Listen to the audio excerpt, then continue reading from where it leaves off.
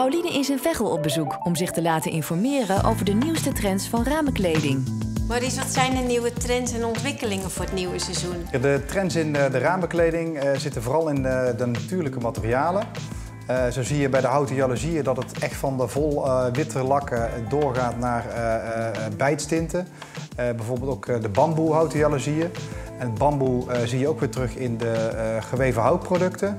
Als een roll-up en als een vouwgordijn. maar ook bij shearlights zie je ook dat het rijke materialen zijn, rijke stoffen die je interieur een, een hele mooie uitstraling geven. Ja, dat is wel grappig als je zegt dat je de trend dat natuurlijke is. Want dat zien wij ook terugkomen, bijvoorbeeld in behang of ontwikkelingen op stoffengebied. Dus ja, dan zie je toch dat dat overal zo doorcijpelt. Dat vind ik wel heel, interessant.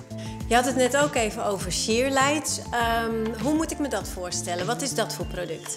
Ja, een shearlight is eigenlijk een soort uh, horizontale jaloezie met, uh, met stoffen lamellen erin.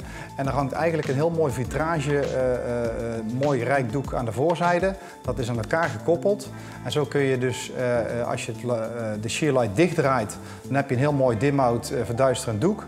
En als je ze open zet, dan heb je een heel mooi in-between-achtig doorkijk, wat heel erg mooi in het interieur past.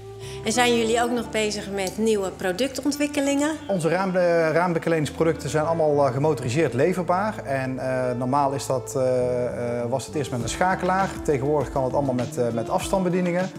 Maar de nieuwste trend daarin is eigenlijk dat het allemaal smart home is, home motion.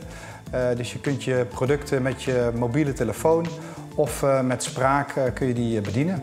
Hey Google, alles open. Prima, ik doe zes dingen open.